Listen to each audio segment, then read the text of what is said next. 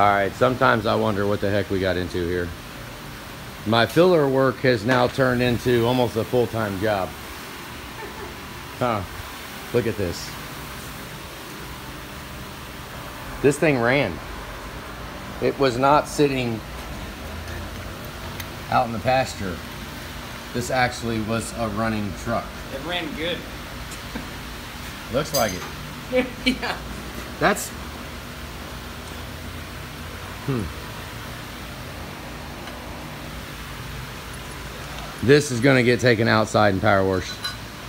You're gonna push it outside, power wash the son gun. Hang on, Tanner. So we're not gonna put it on the stand yet. I don't think. That's not. We can't put that nasty thing on that stand. Crazy. So that's pretty bad. So Drew gets to sit over there and scrape all of his dirt off his truck. Cause that's all his dirt. He did all that. No, I did not. Did. My trucks are too clean. Watch your language, you little snotty nosed kid over there cussing all the time. Jeez. That is that is pretty freaking nasty though. I mean, oh my god. Have a good day, guys.